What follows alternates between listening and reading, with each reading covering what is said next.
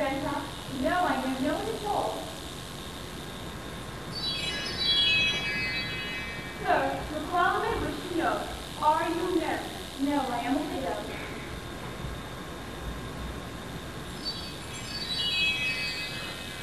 What manner of man your sweet husband?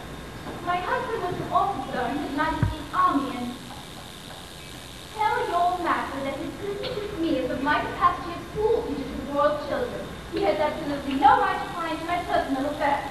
I don't like that man. In foreign country, it's best to like everyone until you leave. Your Excellency, I had no idea that you spoke English. It is not necessary for you to know anything at once. You come now with me. Your boxes will be carried to the palace later. No, not to the palace. I am not staying at the palace. Who said? The king said, said, the king has promised me 25 a month in a house of my own. The king do not always remember what he promised.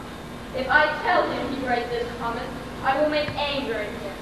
I think it is best I make anger in him about larger matters.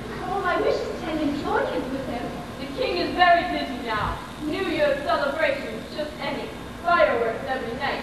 Cremation of late queen just started. You have lost your queen. I am so sorry. When did she die? Four years ago. With cremation ceremony comes also fireworks. And what are we to do in the meantime? You wait. In power. Your Excellency, I will teach in palace, but I must have a house of my own where I can go at the end of the day when my duties are over. What you wish to do in palace that cannot be done in the evening. Oh, Dick! Your Excellency, I don't think you understand. I came to you here to teach.